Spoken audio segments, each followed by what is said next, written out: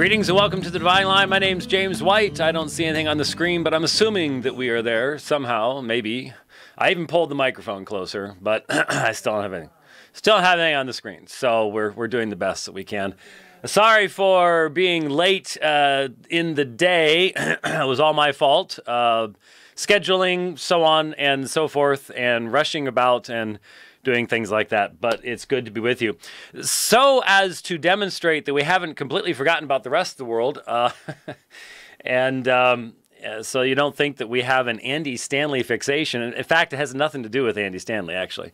Uh, to be perfectly honest with you, uh, it's just that what's coming out from this is just so effective in casting light on key issues that we've been talking about for a long, long time.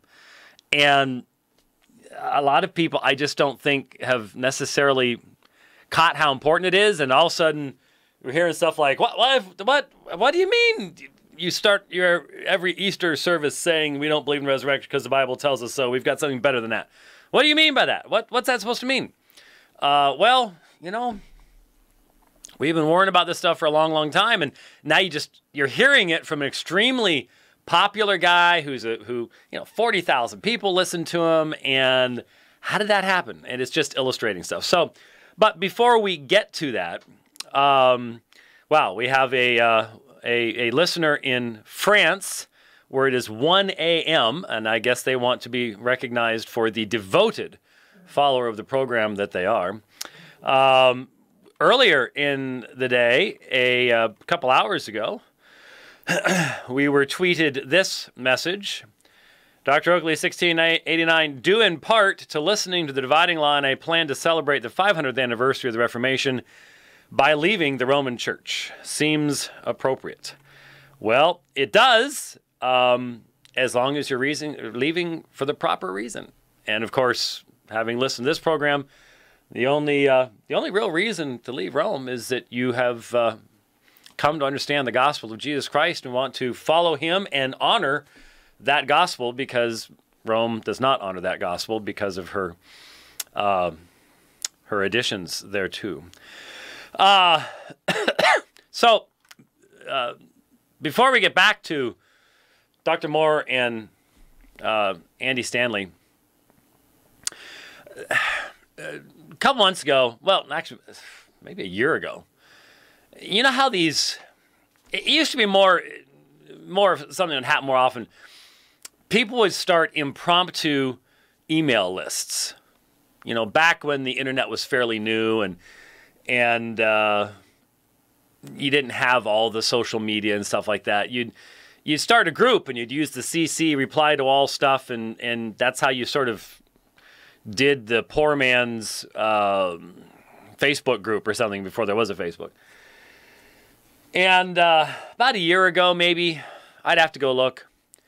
Um, a impromptu email list was put together that I was added to.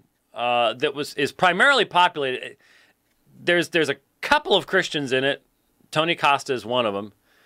Uh, I think Jonathan McLatchie's in the group, but it's mainly uh, mainly Muslim apologists. Yusuf Ismail, Paul Williams, Ijaz Ahmed, a few other Yahya Snow, etc., etc.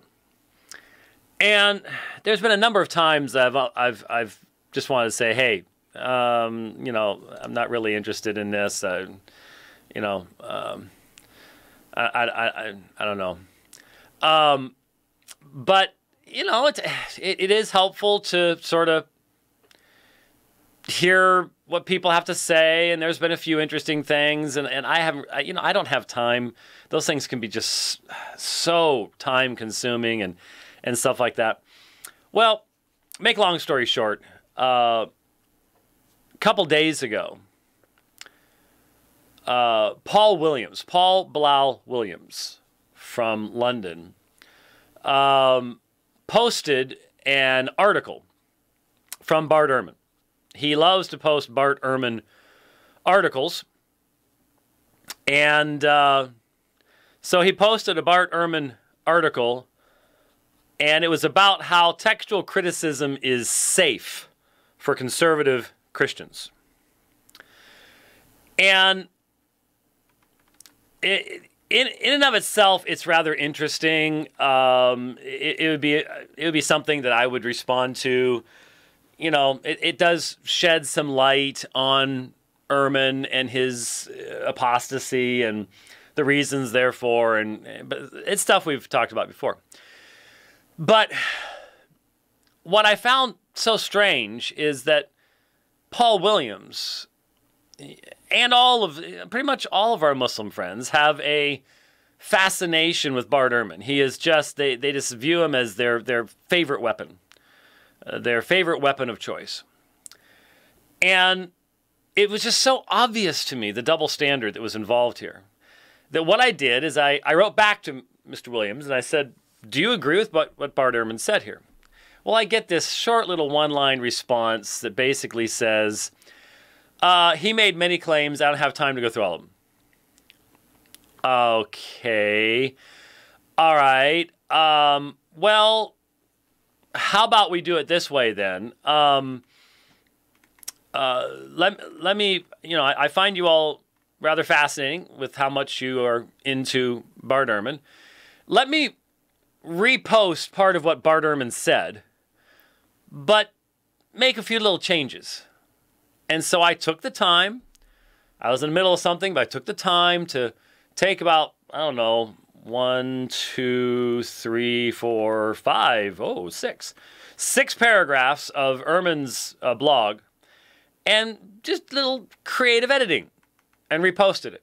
Well, Williams's response was, um, "You are not a scholar of the Quran, so I'm not going to read anything you say about it." That's it. And of course, it. That's my response was, "You're not a scholar of anything. Therefore, should, should we? I guess we shouldn't listen to you about anything." Uh, which is true. I, man's never taught any place that I know of. Is not published. Is not taught in any schools. Nothing. But uh, what he had skipped over, well, I doubt he skipped over. I imagine he read it and he just used that to get get around it. What I did is here. I'm going to read you what I posted. Uh, my edits to the Bart Ehrman article, and uh, listen and hear what you.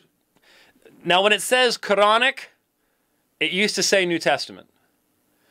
And when it says Sunni, it used to say conservative Christian something along those lines. You'll see what it means. So here's here's Bart Ehrman's article edited. This is what I posted, and this is what Paul Williams wouldn't respond to, and there's an obvious reason for it because it exposes the double standard, and I think he he knew he knows that.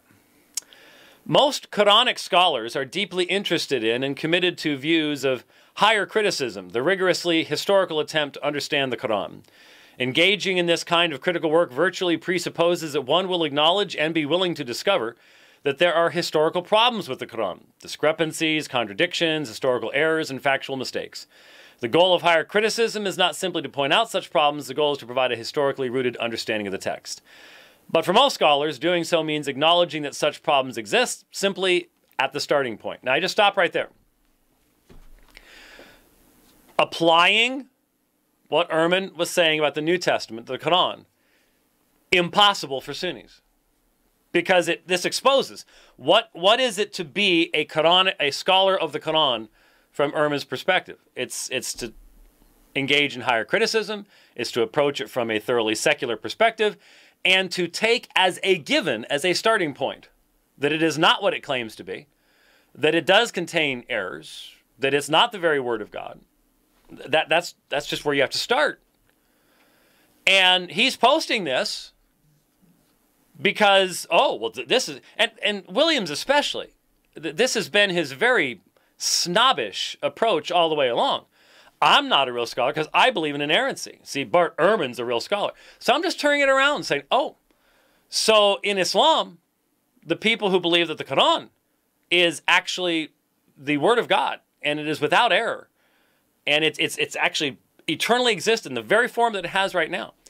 Uh, they're not scholars, according to Bart Ehrman. They, they can't engage in scholarship. That, you know, uh, the goal, but for most scholars, doing so means acknowledging that such problems exist simply at, at the starting point. Well, if you can't do that, then you fall into the category he then goes on to talk about. But Orthodox Sunni scholars simply refuse to acknowledge that view. which means they cannot start where all the other critical scholars start. Now, I stop right there and say, Ehrman is wrong to say that believing New Testament scholars do not acknowledge that this other view exists. Of course they do. They interact with it all the time. We interact with Ehrman's view far more than Ehrman and his people even acknowledge the existence of ours. But I'm changing this around. Orthodox Sunni scholars simply refuse to acknowledge that view, which means they cannot start where all the other critical scholars start. That's exactly right. They start not with the sense that the Quran needs to be treated like all other books from the ancient world, but that it needs to be treated differently as the inspired word of God. But if that's the starting assumption, you can't really do the kind of analysis that others apply with their own assumption that the Quran is a very human book with all the frailties that a close connection with fallible human authors entails. And so it is very hard to be an interpreter of the Quran as an Orthodox Sunni if you want to work in and contribute to scholarship done by others in the field. It can be done depending on which interpretive issues you're dealing with, but it's very tricky. This is true on so many levels. For example, if you don't think there can be any contradictions in the parallel accounts of stories in the Quran, then your interpretation of a passage in Surah 7 that is also in Surah 26 will be affected because you will not be able to acknowledge that these surahs have changed and altered wording and content. But that kind of acknowledgement is absolutely fundamental to a historical critical understanding of each of the surahs. Or if you refuse to acknowledge there are surahs in the Quran that claim to have come from Muhammad, which in fact give evidence of a later origination, then your interpretation of those surahs will be radically different from someone who, on historical critical grounds, thinks that some of the current surahs in the Quran were written, in fact, by someone else. If you think Muhammad dictated Surah 9, Sunnis as a rule do, Orientalists among the scholars as a rule see other possibilities, then you would use Surah 9 as evidence for what Muhammad thought and taught, and you would interpret Surah 9 in light of what Muhammad says elsewhere, and you would interpret what Muhammad says elsewhere in relation to what he says in Surah 9. If you think Muhammad did not write the surah, you simply would not treat it that way, and your interpretation would be massively different. See, all this is exactly true. It's, it, it fits perfectly. And what it demonstrates is that Paul Williams will buy one, not the other. Just change the words, exact same application, exact same categories. And yes, that proves the New Testament's wrong. No, that does not prove the Quran's wrong. it's just glowingly obvious. And I think that's why he decided that, well, you're not a scholar of the Quran, so I'm not going to listen to anything you say. That's nice. And so, if you want to talk whether the scholars in the field or publish articles and books in the field and journals and presses and presuppose uh, historical critical views and approaches, and you have a completely different set of assumptions and presuppositions, well, it's very hard. Most of the time, it doesn't work. Let me stress, I can't stress this enough, although roughly 36% of my readers won't believe me or possibly hear me. I am not saying there cannot be Sunni scholars of the Quran. That is absolutely not the case in the least. There are lots of Sunni scholars of the Quran, some of them superb scholars. But if they approach the Quran from the point of view that there can be no mistakes of any kind in it, that would be a very hardcore Sunni and certainly a Salafist position, then they have to restrict their scholarly conversation partners to one another publishing in journals and with presses that support their theological views, not in the standard critical journals and presses. It was, if I say so myself, an extremely accurate editing job to demonstrate the epidemic of inconsistency demonstrated by Paul Williams. Yes, I know there's a bunch of them. Uh, anyway. hey, if Rush Limbaugh can talk to you know people outside, then then uh, you know I can I can respond to Rich when he's looking around at stuff. Anyway, so once again, uh, I, I think the reason that Paul Williams didn't respond to that is because it's just too glaringly obvious that this really does demonstrate the the fundamental problem that Islamic scholarship has on this issue. Now, uh, I don't have the specifics as far as place and time yet. I, I hope to have that as early as Thursday. But I am exceptionally pleased, exceptionally pleased to be able to announce that Coming up in just a matter of weeks, at the end of October, uh, when I visit uh, Brisbane and Sydney and Wellington, New Zealand. First time in New Zealand. Um, that while we are in Sydney, uh, we will be having a debate, a discussion, a dialogue uh, between myself and Abdullah Kunde. And the subject will be peace with God. Peace with God. How do you obtain it? A Christian Muslim dialogue. And uh, most of you, well, I, I, I hope most of you, uh, have seen the debate that Abdullah Kunde and I did. Um, what year was that? 2011, 2012? Somewhere around. It was last time I was in Australia. On Can God Become Man? Uh, because um, in more than 40 moderated public debates with uh, Muslims, uh, it still ranks number one in my mind for clarity. And my greatest, the, the greatest positive thing that I can say uh, toward Abdullah Kunde is that he is one of the only Muslim thinkers that I know that actually hears what the other side says, that actually extends himself to try to understand, to try to dialogue, to try to engage in a meaningful fashion.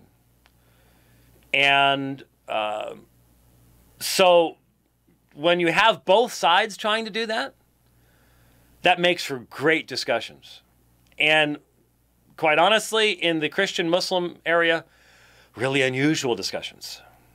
Really unusual discussions. And so uh, we tackled a tough topic before. I thought this would be a real good addition to that. Um, you know, there's there's a number of other topics that we need to get to someday, but we're we're picking off the big, you know, the top ones, the the the heavy ones, and this is certainly a subject with tremendous um, range of application. How do you have peace with God?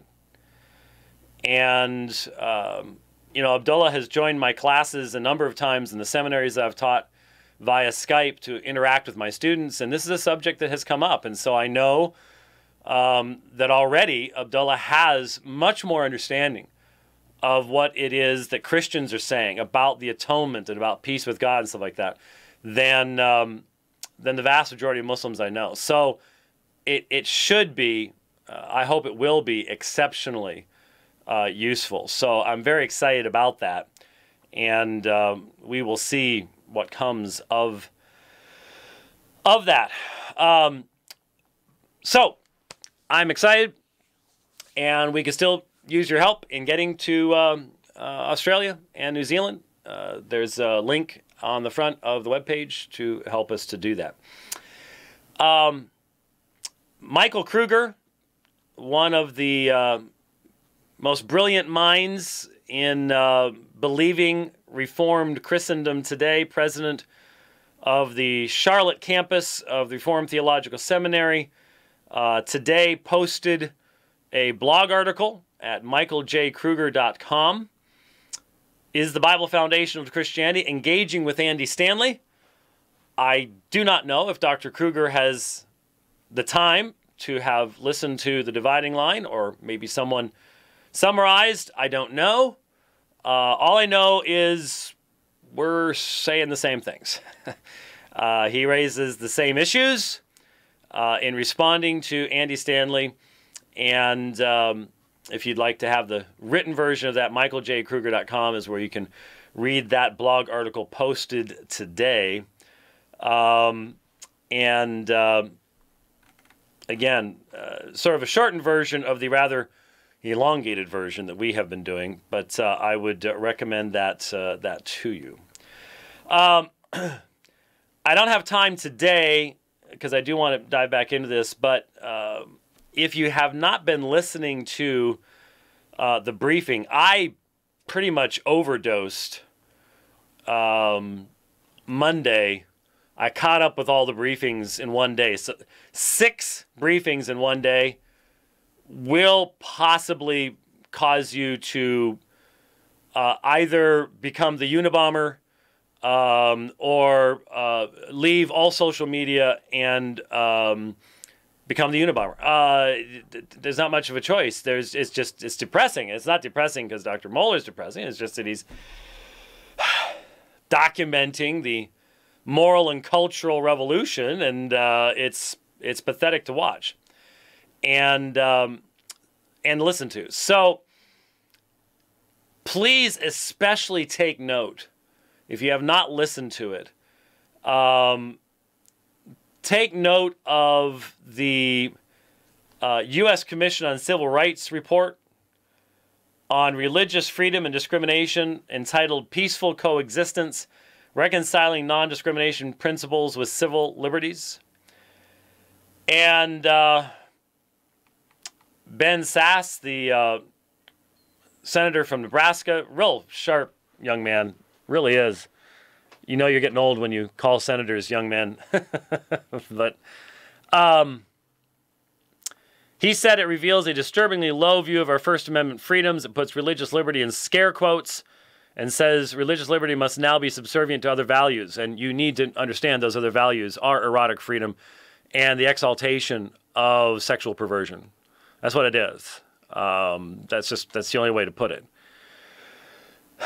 And uh, so uh, take a look at that. If you have not listened to Dr. Mohler's comments on it, he rightly made it the lead story. I think it was Thursday of last week. I don't remember exactly, but uh, take a look at that. We will have more to say on that. Uh, we have been talking about the Uber rights uh, for a very, very, very, very long time, and um, now we're seeing this this taking place. There's no, absolutely no question uh, about that uh, at all. All right, I want to go back to um, Andy Stanley and uh, Russell Moore. we stopped at the end of the atheist letter um, and made some comments at that particular point. Just to remind you, obviously, one of my greatest concerns here is the very nature of the church and the function of the church. And it does seem to me that uh, Pastor Stanley has decided that the idea of being limited by New Testament revelation as to what the church is to be. There's clearly no concept of a regulative principle in his mind. Um, there is no concept that is derived from the Reformation example of seeking uh, biblical foundation for positive actions within the church or the definition of the nature of the church, the, the, the constituency of the church. I have no earthly idea how this conglomeration of fellowships, of hundreds, thousands maybe, uh, fellowships under the loose technical leadership. And it's technical in the sense of somebody up on a screen on a Sunday. Um, I don't know how this loose confederation engages in uh, church discipline, or if it even does. I don't know how it could, because if if atheists are members of your church, then how do you disfellowship them, and for what? I I, I don't understand, don't get it. Um, but we have obvious foundational differences and these foundational differences are beginning to become uh, more and more blatantly seen once the pressure of the society is coming more and more upon our churches. And I hate to say it, but that's what I've been saying for a long time. As that pressure increases, as we get pushed closer and closer to one another, the fundamental foundational differences will become more and more evident. And, you know, it's like with Roman Catholicism. If you are a non Roman Catholic of mere convenience, of taste, of prejudice or bigotry, rather than of conviction. the time's going to come when you're going to have to wonder is it really worth my doing this? Is it really worth my uh, suffering? Or should I just go ahead and compromise? Because taste, preference, prejudice, those aren't, those aren't good reasons to oppose Roman Catholicism. Um, so, getting back to this issue with, with Andy Stanley, you know, people are just, they hear what he's saying, and, and, and first of all, most of us can't understand the distinction he's making between Scripture and Bible. We don't see how. Well, you know, I'm just I'm just trying to I'm overcoming barriers. You see, because you know, there's so many people have barriers because of Noah, uh, or uh, or because of problems in the Old Testament. Well, there are people have barriers because of problems with the concept of the resurrection. So I'm sorry, just saying. Well, we need to go back to the resurrection. That's foundation. Well, we don't know the resurrection outside of not the general historical reliability of the scriptures, but outside of the authority of God's word pronouncing it to us. I'm sorry. I know all you minimalists uh, just just are screaming right now, but the idea that generally reliable but errant, non-religious, non-inspired historical sources are not sufficient to establish the fact and the meaning of the resurrection of Jesus Christ. You want to you may want to pretend that all you want, it doesn't work. And you'll never find an apostle doing that and uh, okay, I get it. Some of you go, we don't need to. The apostles didn't live in our day. We're not looking to them as examples. Well, once you go that direction, uh, do you do you have any idea where you're going to end up stopping? And here's a place where, again, the pragmatism of apologetic uh, activity ends up creating theology. The theology just sort of lags behind, and and if if the theology starts slowing you down, you start chopping parts of it off. You know, until all you got is just a little bit left, and that's that's what the minimalization movement is all about. And so we've been pointing this out and saying, hey, folks, there's there's reason for all this, and it goes back to theology again, and it's important. It's important. So, with that uh, said, let's uh, pick up with now. Um, one of the issues was that when the Andy Stanley clip from the ERLC first made its way onto the web, um, the only thing I saw was right at the very end, the Pope thing. If you're the evangelical Pope, and Andy Stanley saying, uh, you know, don't focus on the Bible, but we are we talked about all, all that before, and Russell Moore took a lot of heat on the basis that being a partial clip, that he didn't push back. Well, he did push back. It was just earlier in the program, and so he's just now read that atheist letter Andy Stanley has. So here's Russell Moore uh, after Andy Stanley gets done. Thanks for letting me read that. When you when letter. you when that, that really gets us to some some important conversations here. When you're thinking about that atheist woman, um, so w- would you say that your goal would be to sort of subtly introduce her uh, to Christianity? I mean, I, I, I, see in the New Testament uh, the distinctiveness of the gospel message being what, what brings it its, its power. So we have a very clear proclamation right. from John the Baptist all the way through right. uh, to the Apostle Paul and, and, and Peter and, and, and elsewhere. Um, so, would you say we ought to sort of gradually, as this woman does, start to become comfortable with the church? Or, uh, or instead, is there, is there a place for 2 Corinthians 5? I'm, I'm pleading with you as though God, uh, Christ is pleading through me, be reconciled to God. That was a letter to the church. Uh, yes, it's a letter to the church, but it's point that uh, out. Uh, but it's a but it's a letter to a church that's in that's in error. Yeah, in but it was a letter rebuked. to the church. Yeah. So, so I, I think, as I'm listening to this, what Stanley's doing there, I, I think what he's trying to say is that proves that the church is made up of believers and unbelievers. Because uh, you know, this this statement in Paul's letter to the Corinthians be reconciled to God. Uh, if you take that as a primarily evangelistic exhortation, that is problematic in the very conversation you're, you're seeing here. I'm not seeing it as a, as a, as a primarily evangelistic external thing. I see it, it is addressed to the church, and it's a need, it's a need that all Christians have to, reckon, to reconcile, to recognize the reconciliation that has taken place in Christ and how that reorders all of our relationships, our priorities, our behavior, everything else. And so, you know, I attended a Southern Baptist megachurch for many years, was on staff for a while, just as a staff assistant. I wasn't some pastor or something. Was when I was still in Bible college. But I, I saw it from the inside. I, I get it. And every, and I think Andy Stanley and I are pretty much around the same age, I think. How old, how old is Andy Stanley? Late 40s, maybe? Not, he can't be too much younger than I am. um, if, if we were, you know, seeing the same things around the same time, the absolute what? 58? Well, he's, he's really good, looking good for 58. He's older than I am.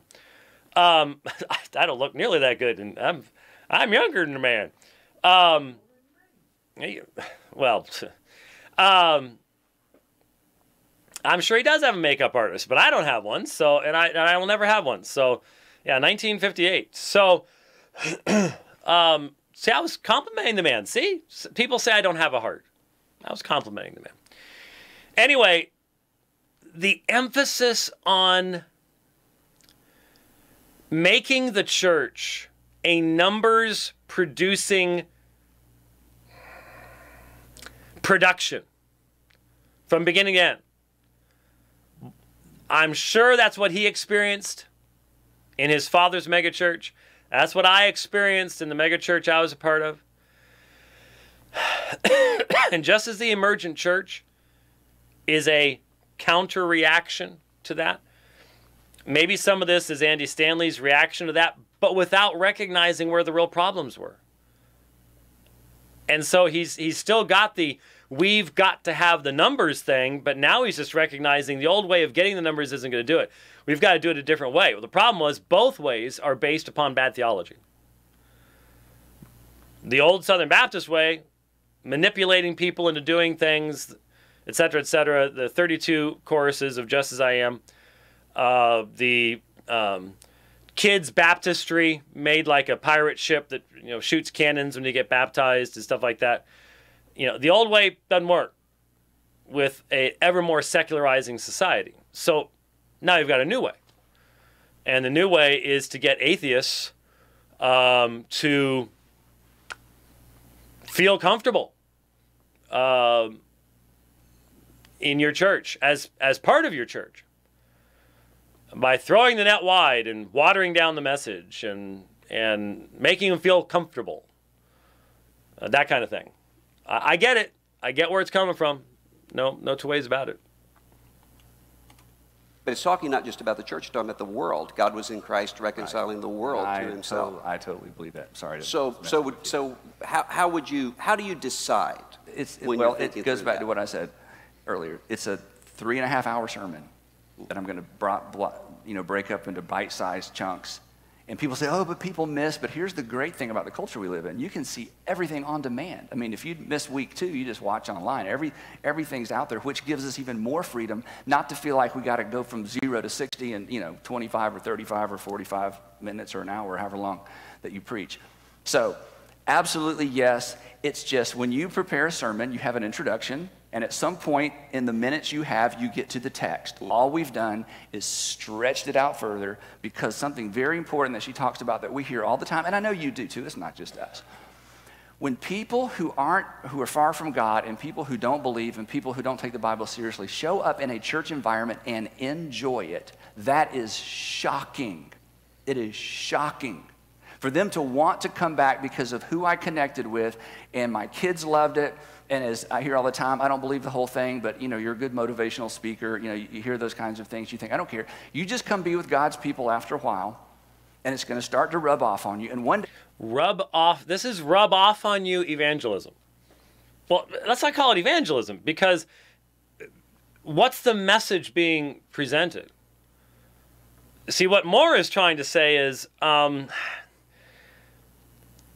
the apostolic message was in former times, you worshiped and served those which by nature are not gods.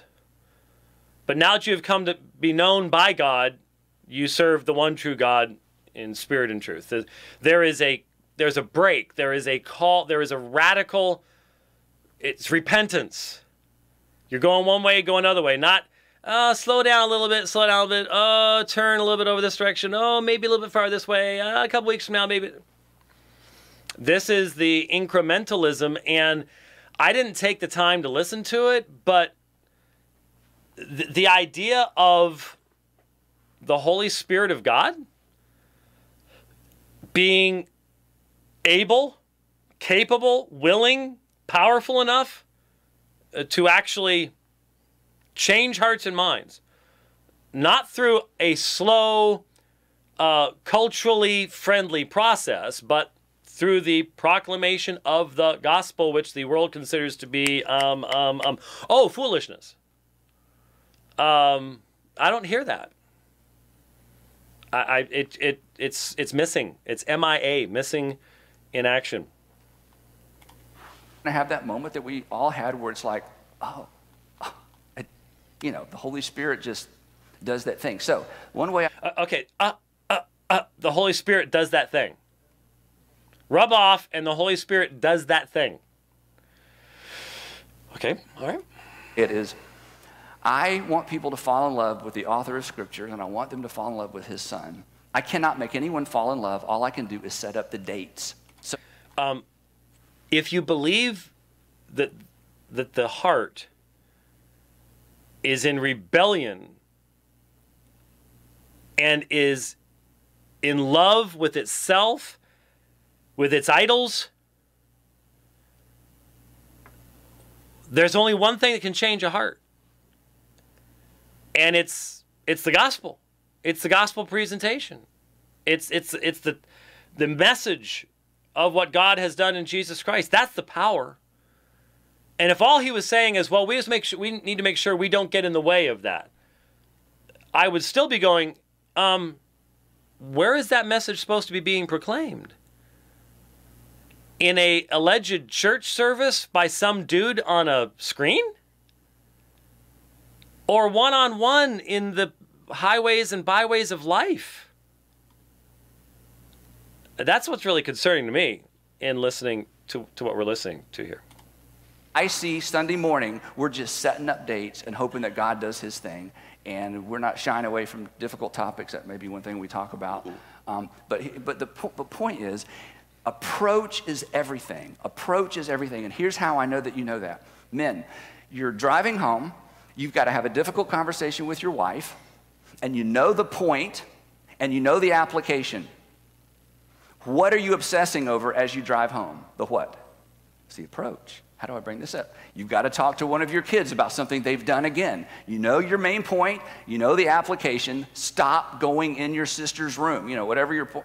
But when, what you obsess over is okay, what's the right approach? Because here's what we know in relationships if you choose the right approach, the right thing does not happen even if you're right. If you approach relationships, especially marriage, a, topic the wrong way, you may be absolutely right, absolutely right with your kids, but all of us who are parents have apologized to our kids because we were saying the right thing. We said it the wrong way. They're crying, and I'm apologizing. But wait a minute, why am I apologizing? Well, so your approach to your audience and your approach to preaching is as almost, maybe as close to as important as the content of your preaching because the wrong. Catch that? Your approach is as he, he's he wants to say it's as important, and he he finally gets to it at the at the end there. It's as important as the content. The content. Now, look, I understand. Um, Steven Anderson blasphemes the gospel, even when he happens to stumble upon. Now, remember, he's a radical anti-lordship heretic. So, you know, but even when he says things that are true. He does not adorn the gospel by his behavior. So we can't go, "Oh, it has nothing to do with our approach. No, no, no. Don't, don't get me wrong. You have to recognize the world you live in. You have to recognize the context of people you're talking to. I mean, it wouldn't make a, a lick of sense uh, for you to walk into a congregation of people that can only speak Spanish and try preaching to them in German. There has to be some kind of a. You, need to be able to communicate.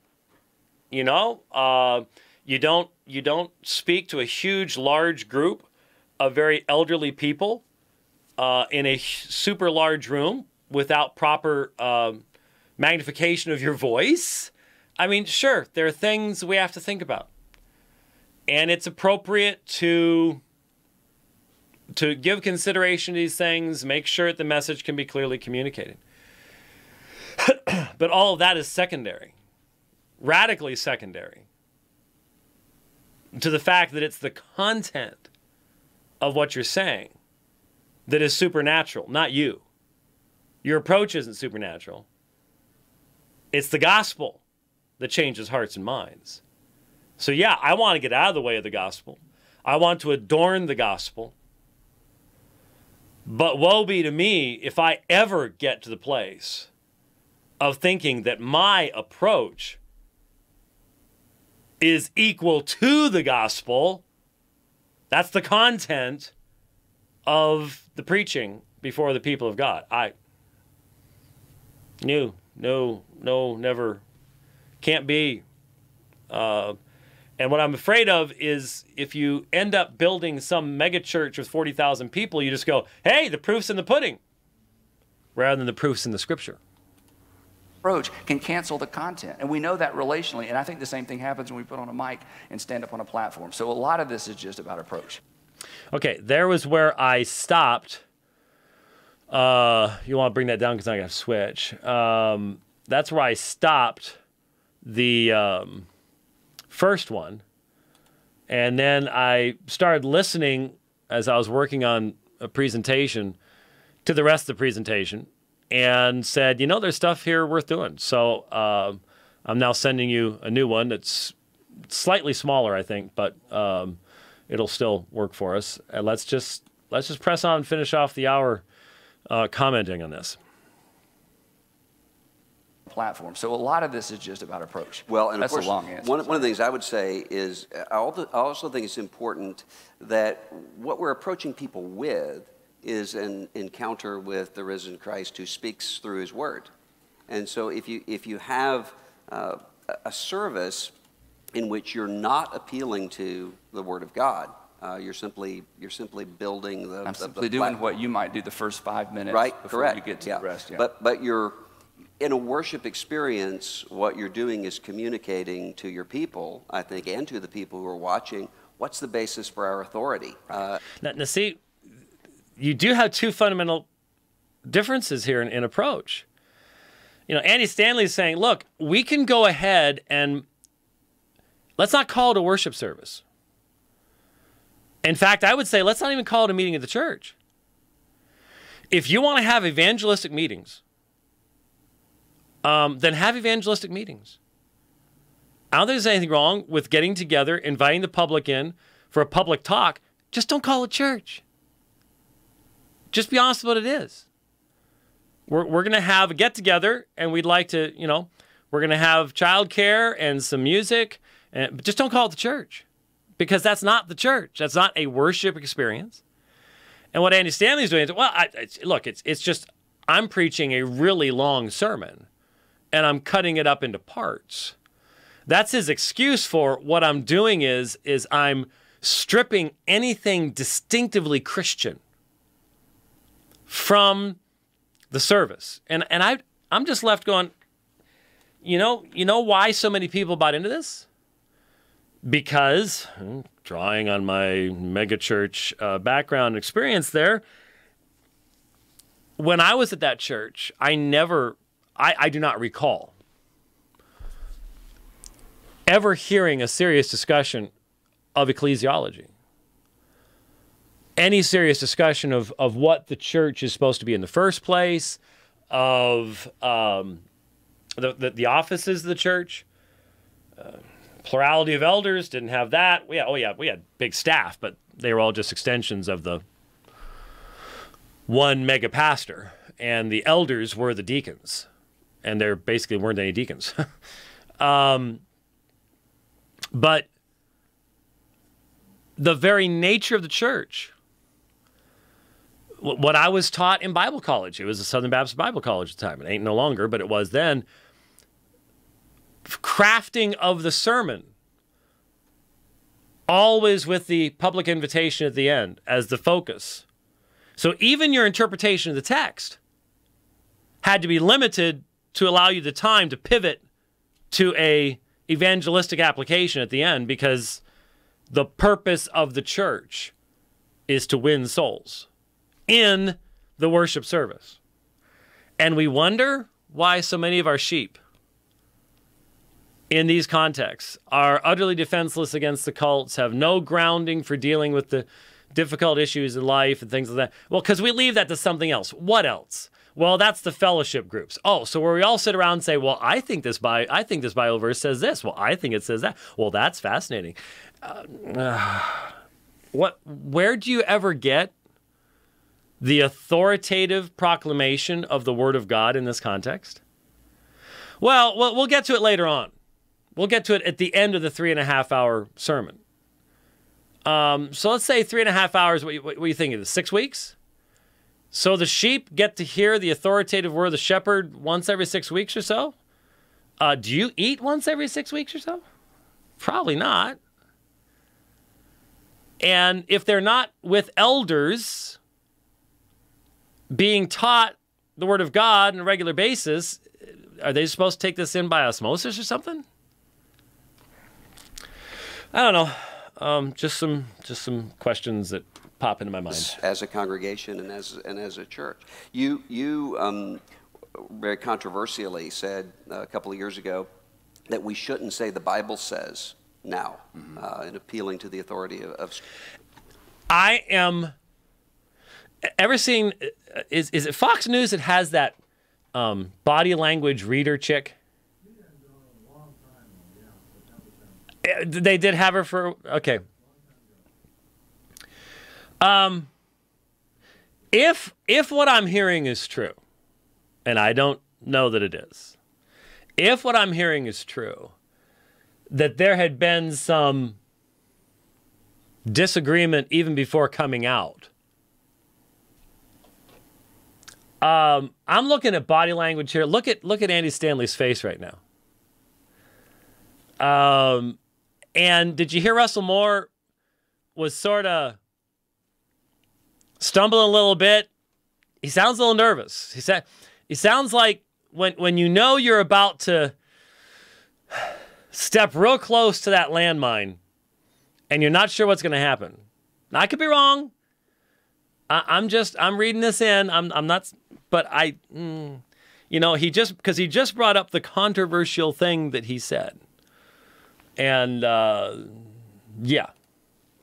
Because of people like this, this atheist nun woman, she doesn't receive the authority of, of Scripture. Right. Uh, I would, of course, disagree with that because it would say no one naturally receives uh, the authority of Scripture. The Scripture brings with it its own, its own power and its own authority. What do you mean when you say we, we shouldn't say the Bible says? Is it? Well, yeah, no, that's, I'm glad you asked that. The reason I encourage pastors not to say the Bible says, the scripture teaches you know, those things, if, it, if it's a bunch of Christians and it's a bunch of people who take the Bible seriously, we're good to go. And for generations in our culture, we got by with it. But it, uh, it wasn't just generations in our culture. It's like the entire history of the Christian church. Okay, but I, but but again, when you when you change what the nature of the church is, to where it's now this, it's a mixed company rather than the bride of Christ. But the, the point is, the apostles, Jesus said, the scriptures say. And I think a lot of these guys are going to come back saying, yeah, but they were talking to people who already believe the Bible.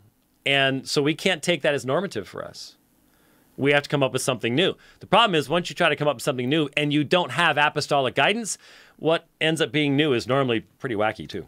I've just learned through experience. I have removed an unnecessary obstacle when I say to, a, to not just non Christians, but Christians who are having doubts about the scripture, perhaps. When I say, it's just a more direct route to say, Jesus taught. The Apostle Paul, who, by the way, used to hate Christians. Anybody here hate Christians? You love the Apostle Paul. He hated Christians. The Apostle Paul, I know it's kind of funny. Now you're interested in the Apostle Paul. Peter taught. Um, let me tell you about Peter. James, my favorite one is James. James said, let me, before we go to James, let me tell you about James. James was the brother of Jesus. What would your brother have to do to convince you that he was the Son of God? Everybody laughs. I'm like, did you know that James doesn't show up until after the resurrection? James believed his brother was his Lord. That's awesome. Here's what he says. Now, by the way, as an approach, um, I don't think this is actually relevant to what he's being asked. Because the real question is what's the nature of Scripture? And why are you afraid to say that God has spoken? And eventually you're going to have to get around to saying, well, the reason we take James seriously is because what he was writing is God speaking. But this is similar to what I exhorted people to do in the 100 verse memorization system. You provide a context, you provide the story. You when you when you quote a verse to someone, and you have gotten their interest and you've demonstrated you know what the storyline is, what the context is, what the force of the argument is, you bet that's going to carry more weight than just simply, you know, someone who sees you. Let me move my tribbles out of the way.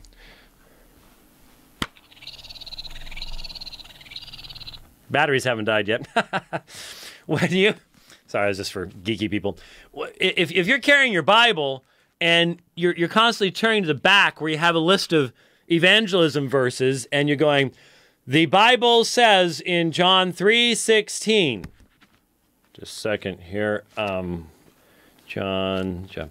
For God so loved the world. That, okay, that's probably going to communicate to most people that you don't really know a lot about what you're saying and it's it's not a real personal thing and you're just following this yeah i, I get it so th- this is a part of the style thing and and and again if you can avoid artificial barriers that's cool but that's not what the issue is here because jesus in dealing with unbelievers in dealing with all sorts of people said god has spoken and that really becomes the issue because even when you give all this stuff and you give the background stuff like that, eventually you still have to get around to, and why should you believe it? Why is this binding on you? Because Jesus said, Have you not read what God spoke to you? Jesus was not afraid to say, God has spoken to you, and He's spoken to you in Scripture, and you will be held accountable for this. How many people have listened to Andy Stanley preach and then walked away going, Yeah, maybe someday? because there was no communication that you will be held accountable for what you have heard. You will be held accountable to the Lordship of Christ. You'll be held accountable to the revelation of His Word. I think it is an easier on ramp for people who are distant, distancing, doubting, to start with the authority of the, of the author than to start with the Bible. And there are other reasons. Whoa, whoa, whoa, whoa, whoa, whoa, whoa, whoa, whoa, whoa, whoa, whoa, whoa, whoa, whoa. all scripture is theopneustos, not scripture writers. Not scripture writers. The, the locus, the focus of power, supernatural, divine power, is in that which is theopneustos, and that is the scriptures themselves, not the authors. What's scary here is this is a view of scripture very parallel to the Muslim view, where the prophets have to have a, a particularly holy character. And then the message they deliver is only as authoritative as the character they possess. That is not a Christian view of Scripture. It's just not. Um, you're bypassing the fundamental harmony of Scripture and its ultimate source. Its ultimate source is that it comes from God. It is God speaking. Men spoke from God as they were carried along by the Holy Spirit. So I, am sorry, there is a there is a you know, he may be Norman Geisler's favorite student, but I would have a hard time thinking that even Norman Geisler could buy that one. This, and, and you know this. It's not what the Bible says that's the issue, it's what else the Bible says. And again, when you're dealing with secular people, as soon as you say the Bible, everybody now knows all the problems with the Bible. And when I say problems, the problems in terms of a culture's view of the Bible, in terms of six day creation, no geological evidence for a worldwide flood, there's no evidence for the Exodus, there's all, all kinds of things that people can poke at, poke at, poke at. And when we dis. Okay, now, now hold on a second. You know, and here's, here's where we're almost out of time. Poke at, poke at, poke at. Are there people who will poke at anything in the Bible. Yes. Pastor Stanley, how do you differentiate between those issues you just mentioned and the things that are fundamental to your apologetic? They poke at who James was. They poke at the authorship of the Gospels. They poke at the resurrection. It's one of their primary things to go after. They poke at. There are answers for all of them. So what do you accomplish? What is the apologetic advantage of saying, don't worry about the things that you poke at, just don't poke at the things that I'm presenting to you? That, that, that does not make any sense to me. That it, it seems to me that you're just simply moving the question back one step and saying, let's not worry about that. Let's worry about this. Okay. Um, you you may have all those problems with that, and you're just hoping they don't already have problems with these things that you say are, say are absolutely foundational. And I just don't see how that accomplishes anything. I really, really, honestly don't. Well, there's more to be viewed there. Um, I promised, well, just have to, uh, to get done uh, today in a normal size dividing line. I, I think there were some people, uh, I think there may have been a pool somewhere uh, of people wondering whether I could still do a one hour program that would actually get done on time uh, because I don't know the last time that I did a program that actually got done on time. But we're doing it today. We're actually finishing up today. Lord willing, uh, we will be back on Thursday at our normally scheduled time, whatever that is, which I don't even know what it is, and sometime on Thursday, uh, we'll get back together with you here on the Dividing Line. Thanks for listening today, and God bless.